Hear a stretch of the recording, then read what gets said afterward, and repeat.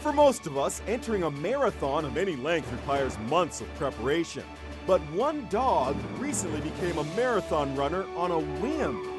After Ludivine was let out to pee by her owner April, the curious pup wandered up to the starting line of the Trackless Train Trek Half Marathon in Alabama.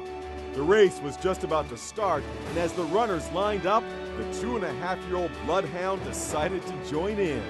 She ended up running the entire 13.1 mile course in 1 hour, 32 minutes, and 56 seconds. Despite the curious dog's multiple detours off course, she finished in seventh place. After crossing the finish line, the speedy pup was awarded a medal. Be sure to watch Inside Edition.